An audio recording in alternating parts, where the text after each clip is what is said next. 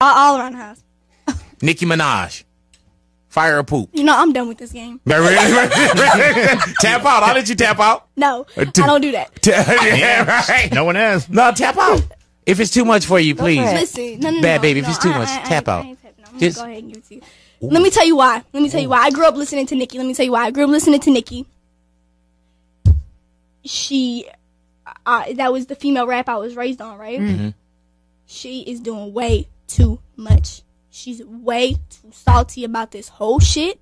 Whether when when it comes to the the Travis shit, the Kylie, the Stormi shit, when it comes to the the the Cardi shit, way too much.